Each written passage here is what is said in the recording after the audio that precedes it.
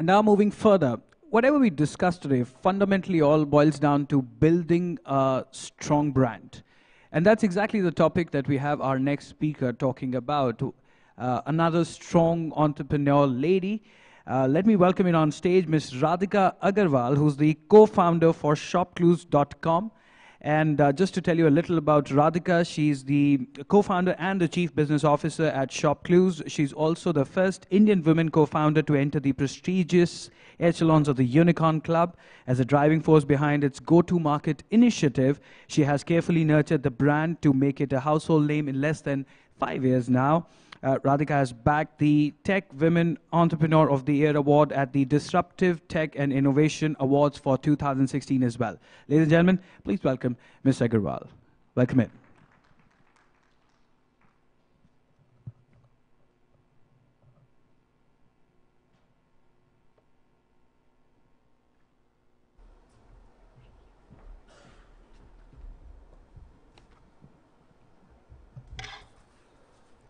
Thank you so much. Um, can you all hear me?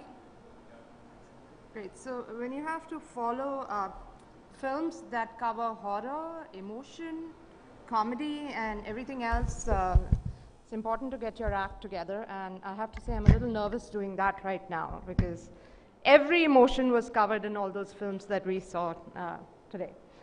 Um, so when I was asked to come in and uh, talk to you about building a strong brand in, uh, uh in the digital era, um, there was a lot of thought that went into this. You know, uh, talking to a room full of marketers, uh, words like brand salience and brand manifesto are, I think, part of your day-to-day vocabulary. and what can I really tell you about that? Um, so today I'm really going to tell you something about my industry and talk to you about how we have built ShopClues from scratch. There are some films that I'll be covering as well, but uh,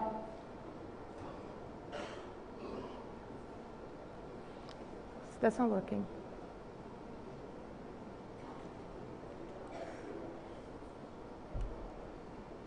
So there are some films that I'll be covering as well, uh, if the clicker works.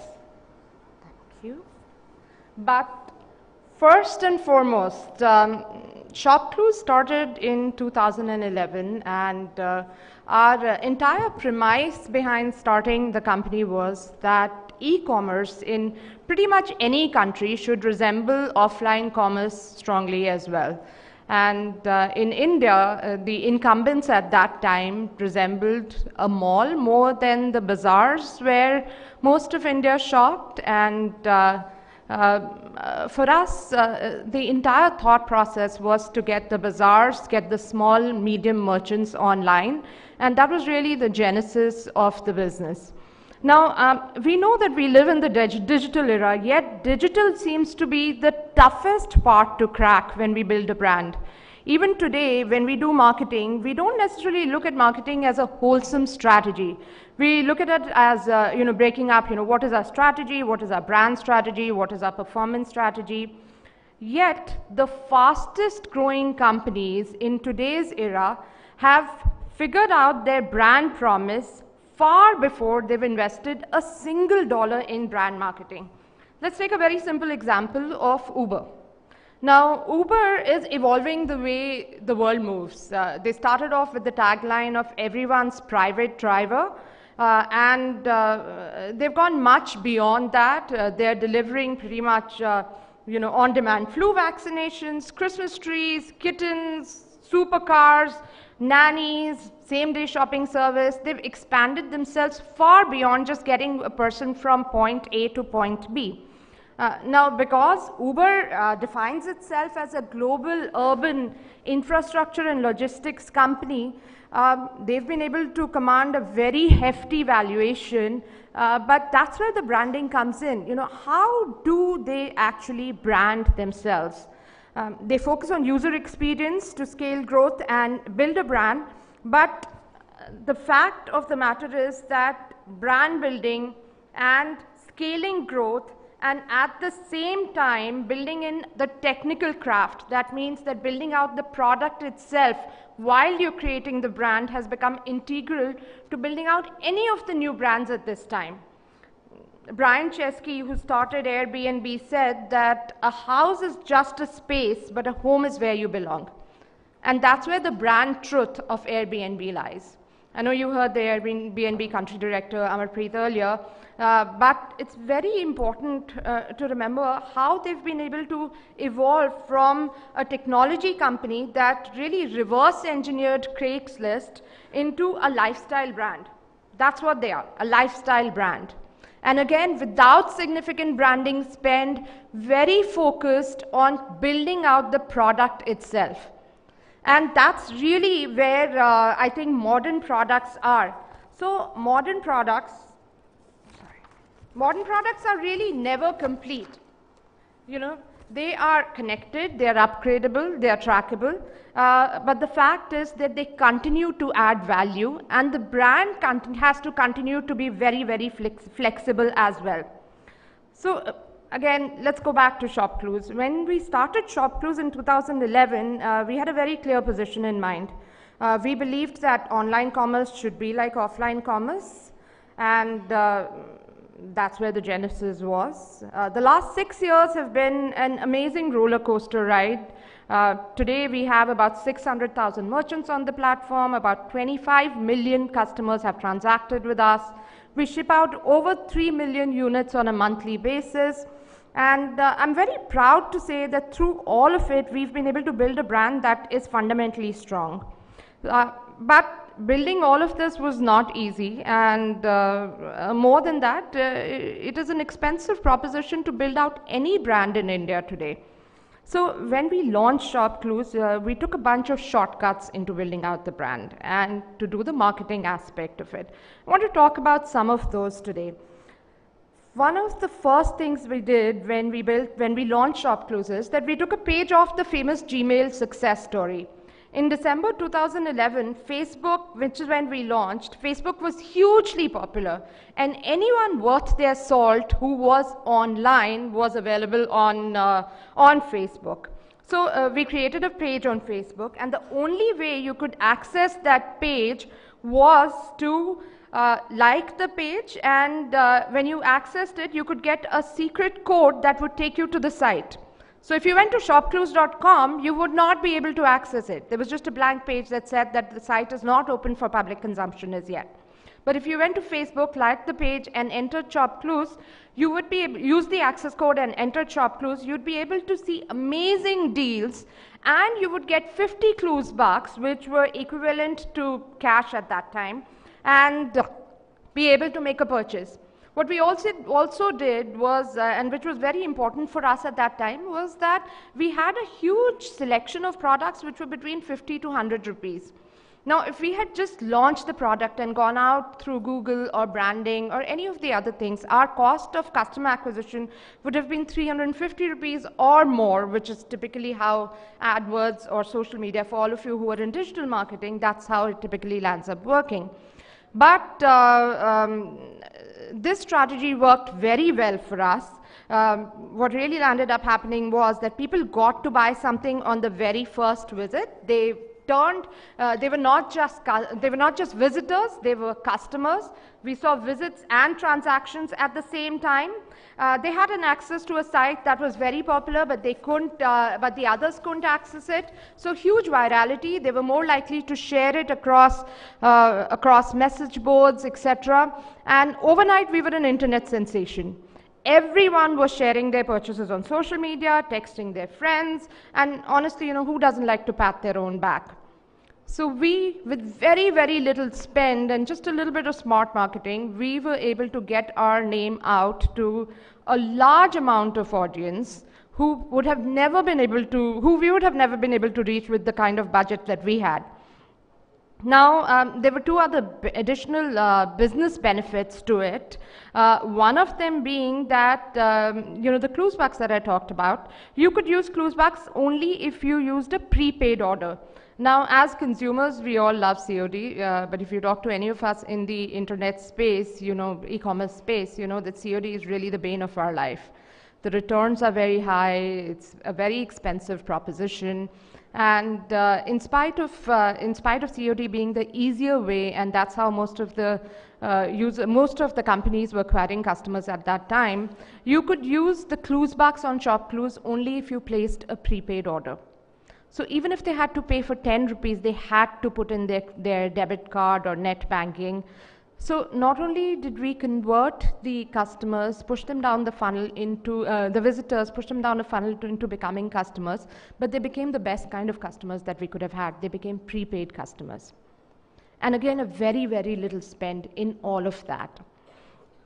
So the next time we try to do marketing uh, for our brand uh, a couple of months down the line, and uh, again we quickly realized that we won't really be getting anywhere with uh, the small budgets that we had in the big bad world of Google, and especially against uh, the 800-pound gorillas in the room. There was Flipkart and there was Jabong that had just launched, and, and they were aggressively marketing across television and digital everywhere else.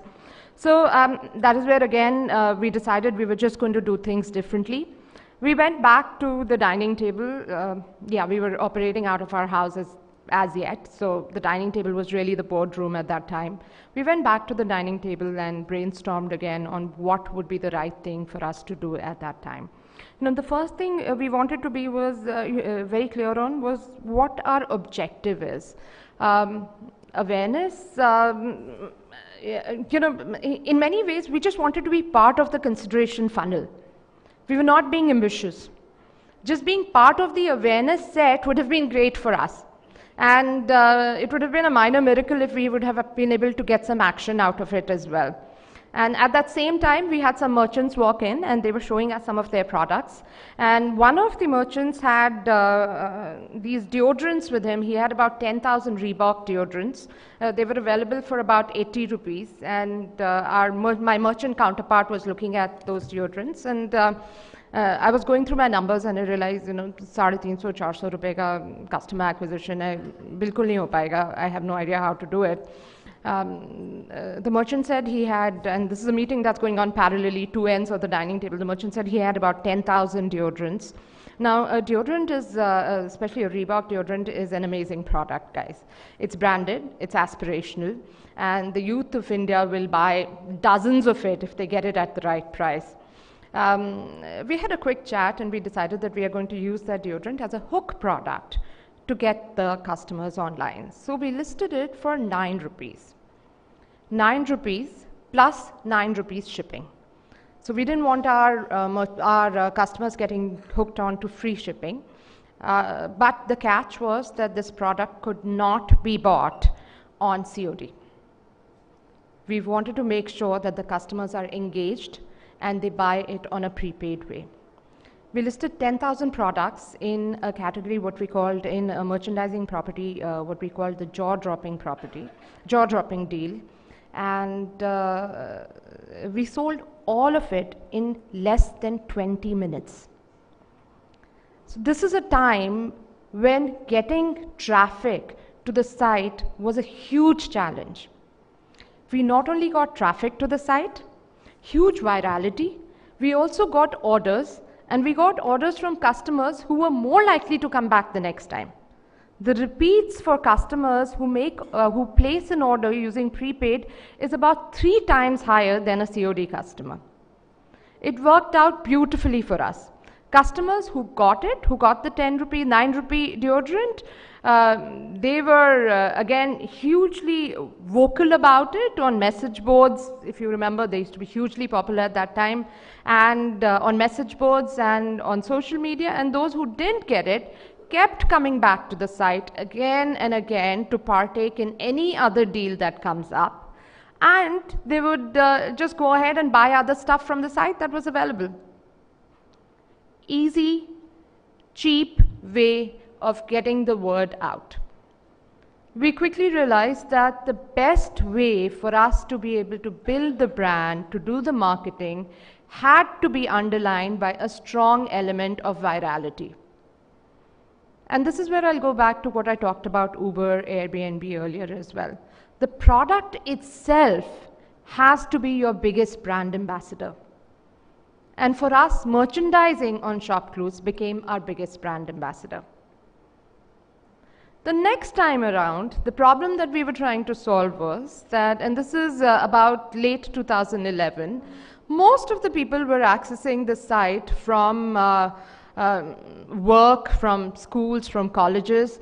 That means that the traffic would drop in the evening. The traffic would literally vanish on a Saturday, Sunday. Mobile phones were not as rampant as they are today and it was the office laptop which was being used to place most of the orders. Now, we saw the traffic go down, and we really wanted traffic to come back up on a Sunday because that's really 48 hours that go down the drain um, that is where we went back to uh, the ethos of the brand. We wanted the bazaars to come online. And uh, for all of you who've grown up in India, we've all seen the Mangal bazaars and the Shani bazaars. And uh, for those of you who are from outside India, there's the whole concept of flea market there. So we launched uh, what we call the Sunday flea market. And uh, basically, there were products that were lined up from 23 rupees to 500 rupees. There were about 500 to 1,000 products there. And uh, the genesis of that was again one of our merchants who had a huge supply. Cinthol was changing its packaging at that time. He had a huge supply of Cinthol soaps that were the old packaging and uh, they were available at a 50% discount. And we listed those and we listed about another 400 products. They were all flashlights for uh, 100 rupees, a set of three skipping ropes for 90 rupees. And the, uh, the merchandising property itself had such huge virality that it took uh, traffic to a, an absolutely different level. From us getting less than 5% of our orders on a Sunday, about 40% of weekly orders started coming on a Sunday. So for most of our customers, they've heard about us for, through our Sunday flea market. So most of these customers would hear their friends talk about कि मैंने आज SFM में ये खरीदा मैंने ये खरीदा and they would come back and check us out on a Sunday. And we quickly realized that merchandising properties are really the right way for us to go.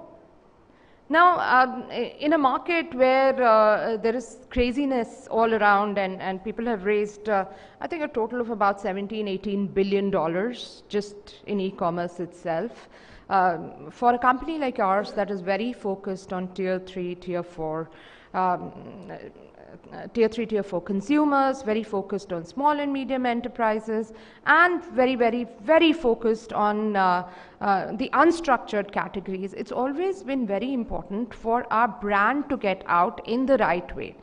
The first time we actually went out the traditional brand route was uh, in 2014, and uh, we wanted to make sure that the width of the products that we cover are covered in that. I'd love for you guys to take a peek at the first commercial that we ever did, and as all of you know, the first commercial is typically uh, your baby.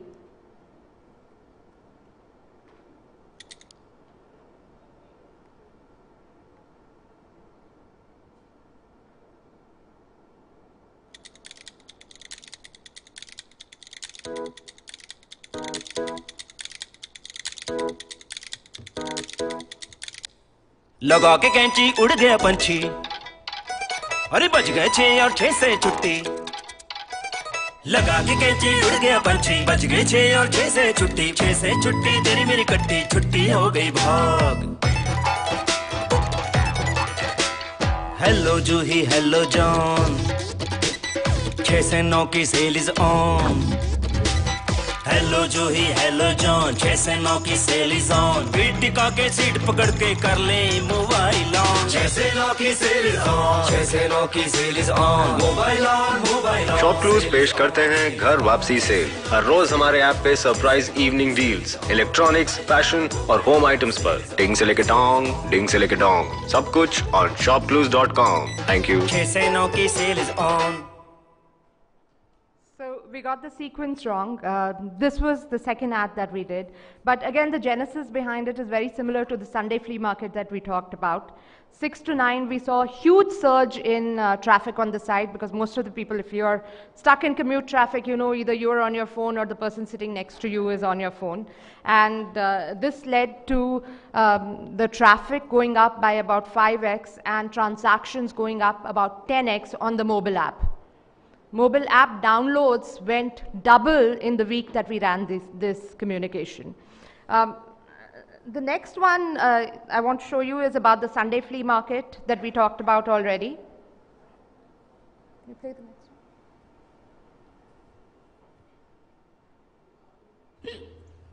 भाई साहब Sunday के Sunday पता नहीं क्या हो जाता है ना पूरे हफ्ते तो ठीक रहता हूँ पर संडे को सुबह के छह बजे नहीं कि पूरा दिन ऐसे ही बेहाल हो जाता है।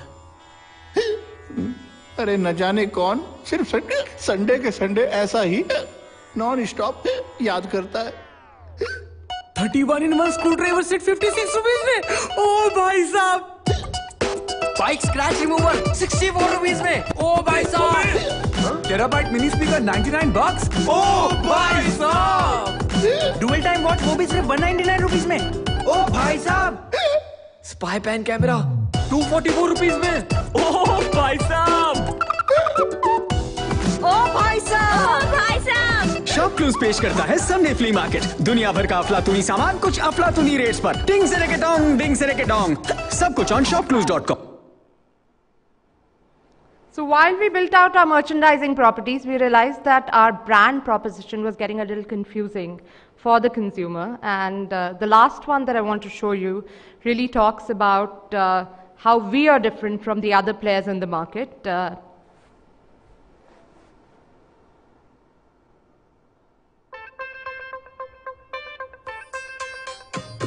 ये मॉल नहीं है मार्केट है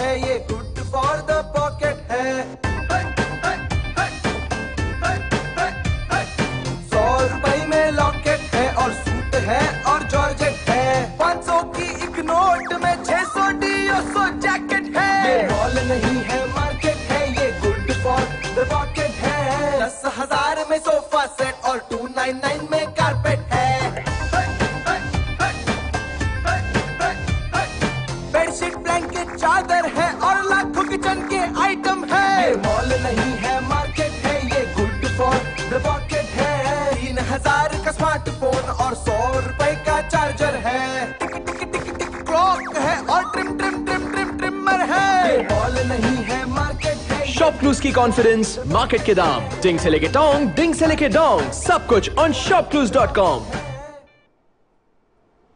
So, guys, I think just to end it quickly, um, in today's day and era, when you're building out a digital brand, uh, I think along with the consumer truth, the product truth is very, very important as well. Your product connection to the brand has to be literally built out much, with the consumer, has to be built out much before the brand can be built out through any of the films that you're able to do. Thank you.